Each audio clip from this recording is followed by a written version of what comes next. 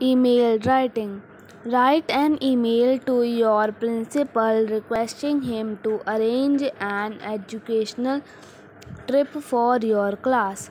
To principal principalgssa at yahoo.com from aruns a red at rediffmail.com date 1 october 2021 subject request for an educational trip sir our school is closing for summer vacation next week. We the students of class 8 want to go on an educational trip to agra. We want to see the taj mahal.